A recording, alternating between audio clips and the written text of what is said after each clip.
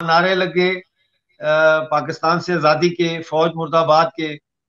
जो मुजफ्फराबाद में मुजाहरे होते हैं, उनमें पाकिस्तान से आज़ादी के नारे लगते हैं। बात मैं बिल्कुल खुले दिल के साथ मानता हूँ कि उस तरफ़ के कश्मीर में डेवलपमेंट के हवाले से हम उनका मुकाबला बिल्कुल भी नहीं कर सकते। दूर दूर तक भी हम वहाँ खड़े नहीं।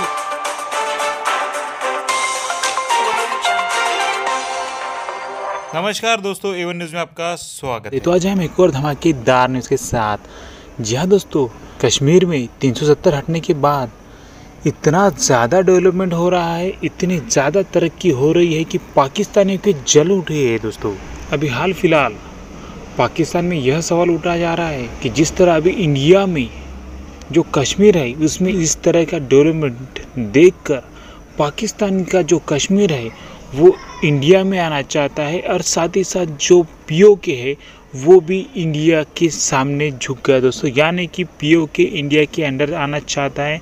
वहाँ की जो आवाम है, वो इंडिया के साथ जुड़नी चाहती है, क्योंकि जो इंडिया है, वो इतना पावरफुल हो गया है कि किसी भी देश के लिए डेवलपमेंट के नज़रिए से बहुत अच्छा साबित हो रहा है दोस्तों। और यह सब देखकर जो पीओ के है, वो इंडिया में आना चाहता है और पाकिस्तानियों को गाली दे रहा है कि तुम हमें छोड़ दो हम इंडिया के साथ अच्छे हैं। और इस तरह की, की जो न्यूज़ है यह सुनकर पाक मीडिया में पूरा तहलका मच गया है दोस्तों। तो पूरी जानकारी के लिए आप इस वीडियो को लास्ट तक ज़रूर देखिएगा। यह बहुत ज़्यादा इंटरेस्टिंग होने वाला है। हम आपको मिलेंगे नेक्स्ट वीडियो के साथ। नेक्स्ट डे पर। धन्यवाद। हिंदुस्तान कहता है कि यहाँ वाले लोग चाहते हैं कि हम उनके साथ मिल जाए। पाकिस्तान की हुकूमत कहती है कि वहाँ के लोग चाहते हैं कि हम पाकिस्तान के साथ मिल जाएँ।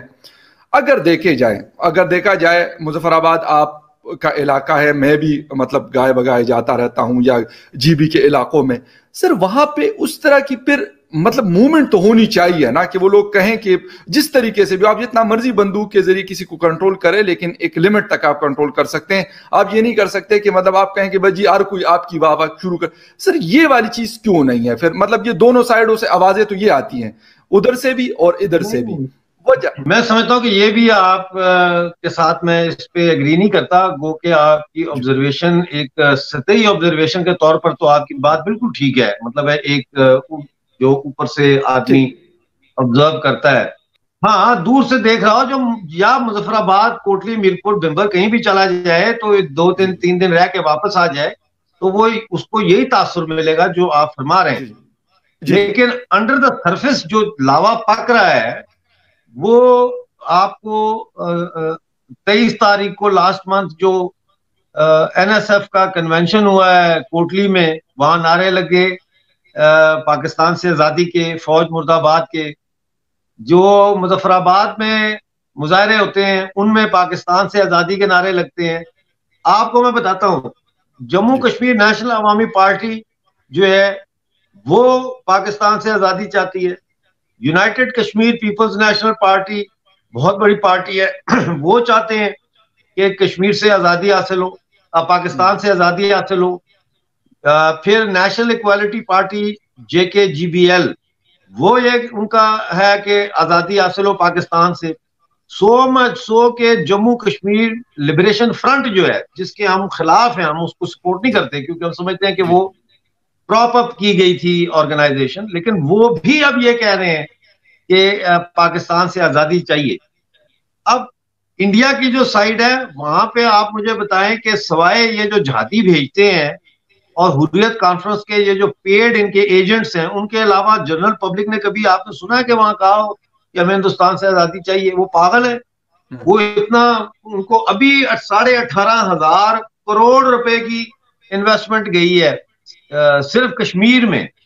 तो हम्म। वो पागल है कि जिनको बिजली भी आप मिल रही है रेलवे चल रही है रेलवे स्टेशन है एयरपोर्ट है इंटरनेशनल फ़्लाइट हर रोज वहाँ आती जाती है श्रीनगर कि वो कहेंगे कि नहीं हमने पाकिस्तान के साथ जाना है। तो फिर वो उनका दिमागी इलाज होना चाहिए सर, ये वाला पॉइंट आपका बड़ा बहुत वैलिड पॉइंट है बिल्कुल। आ, मैं मैं हमेशा ये बात करता हूँ आज नहीं मैं जब से आ, कश्मीर के इशू इस वाले कश्मीर की हो उस वाले कश्मीर की बात हो ये बात मैं बिल्कुल खुले दिल के साथ मानता हूँ कि उस तरफ़ के कश्मीर में डेवलपमेंट के हवाले से हम उनका मुकाबला बिल्कुल भी नहीं कर सकते। दूर दूर तक भी हम वहाँ खड़े नहीं हैं। आज मैं सर एक कुछ पिक्चर्स में देख रहा था जो रेलवे लिंक हो रहा है 330 मीटर के हाइट पे वो रेलवे लाइन को बिछा रहे हैं। तो मैं बिल्कुल I am really impress from that इसमें कोई शक नहीं है बेशक हमें हिंदुस्तान से दो हज़ार परसेंट इख्तलाफ करें लेकिन ये चीज़ आपकी बिल्कुल सर मानते हैं। सर दुनिया का बल, दुनिया का बुलंद तरीन रेलवे ब्रिज बन रहा है वो। Yes yes. दुनिया का बुलंद तरीन यस एग्जैक्टली बिल्कुल। सर ये ये वाली चीज़ें आपकी ये वाली बात आ, बिल्कुल सही है कि डेवलपमेंट वहाँ पे है इंटरनेशनल फ्लाइट्स आती है हमारे अभी मुजफ्फराबाद के अंदर छोटा एयरपोर्ट भी नहीं है बड़ा तो छोड़ दें। वो लोग इस्लामाबाद से अगर कहीं जाना जाना है तो इस्लामाबाद से आते हैं अगर ट्रेन में जाना है तो पिंडी रेलवे स्टेशन को यूज़ करते हैं। हालाँकि 1896 में बाकायदा जब गोरे की हुकूमत थी यहाँ पर तो उन्होंने कहा था कि इस्लामाबाद के बाद, मरी और मरी के बाद ये रेलवे लाइन मुजफ्फराबाद जाएगी, जो डेढ़ सौ साल में नहीं जा सकी अभी तक। पचहत्तर साल पाकिस्तान को बने हुए। सर, इतनी डेवलपमेंट हो रही है, पाकिस्तान को यह खाम ख्याली क्यों है कि भाई वहाँ के लोग जो है, वो पाकिस्तान, जिंदाबाद और हिंदुस्तान, मुर्दाबाद के नारे लगेंगे खाम ख्याली है क्यों? इसकी मेन वजह नहीं नहीं, खाम ख्याली नहीं है। बिल्कुल भी खाम ख्याली नहीं है। पाकिस्तान की मिलिट्री स्टैब्लिशमेंट को पाकिस्तानी रियासत को अच्छी तरह से सारी बातों का पता है। ये झूठ बोलते हैं ये प्रोपेगेंडा करते हैं ताकि इनकी जो जेब है डिफेंस बजट और बड़े बड़े जो कश्मीर कमेटियों के लोग बैठे हुए चेयरमैन और ये लोग सफ़र करते हैं यूरोप आते हैं अभी आपका शहरियार आया था यहाँ धमकियाँ दे के गया हमारे साथी को। तो इन लोगों का टीएडीए बनता है ना और फिर आप मुझे ये बताएँ कि अगर कश्मीर को ये छोड़ दें कि भाई ठीक है उसका नाम ना लें। तो फिर साबित होता है ना कि एक, एक मुसलमान अक्सरियती इलाका जो है रियासत या यूनियन टेरिटरी हिंदुस्तान में पनप हम्म, सकती है। हम्म। तो फिर इनका टू नेशन थ्योरी जो है दो कौमी नज़रिया के मुसलमान हिंदुओं के साथ नहीं रह सकते। वो तो सारा चौपट हो जाता है। तो उसको भी ज़िंदा रखना है। और फिर वो सबसे बड़ा धंधा जो है दुनिया का वो मज़हब है। ये मज़हब की आड़ में खेल रहे हैं और मज़े से लोगों लोग इनके लोगों को बेवकूफ़ बना रहे हैं और लोग बन रहे हैं लेकिन अब हम्म। ज़्यादा वक्त नहीं है अब और मजीद लोग बेवकूफ़ नहीं बनेंगे देखें मेरे या आपके प्रोग्राम करने से लोगों को हम इतना शोर नहीं दे सकते exactly. जितना शोर सोशल मीडिया ने दिया है ये सोशल exactly. मीडिया ने पागल कर दिया इंटरनेट ने जैसे आप कह रहे हैं आप जाएँ आपको सारी चीज़ें मिल जाएँगी कि क्या हो रहा है क्या नहीं हो रहा है yes.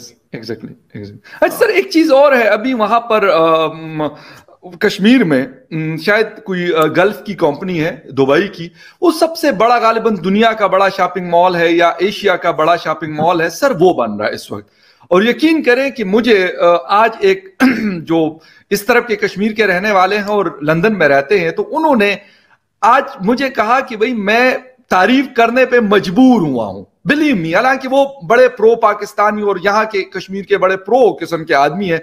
वो कहते हैं कि यार, मुझे आज तक एयरपोर्ट नहीं अवेलेबल बल्कि उन्होंने हॉस्पिटल का नाम लिया कि इस तरह का state of the art hospital मेरे पास नहीं है, मुजफ्फराबाद या फिर बड़े शहरों में। और उनके पास दुनिया का बड़ा शॉपिंग मॉल आ रहा है, जहाँ पे दुनिया की हर ब्रांड अवेलेबल होगी।